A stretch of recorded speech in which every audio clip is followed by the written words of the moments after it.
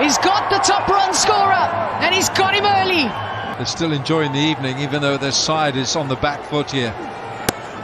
Oh, it's a chip, and it's a catch, and it's the end of Joe Denly. Another procession. He actually deceives it with the pace. Here you go, another one.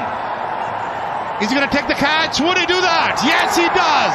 We're talking about Boult. He runs like a bullet too.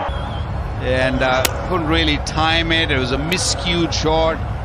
And he ran in hard and, and he never gives up. That's his nature. That's his. For the Warriors. this must be very close. Yes, it is. Finger goes up.